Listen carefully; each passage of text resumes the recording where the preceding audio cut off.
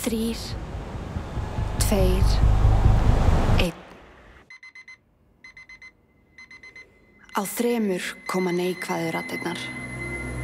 Óttinn. Á tveimur fjaraðar út, ég hætti að hlusta. Á einum getur allt gerst. Líka hið ómögulega.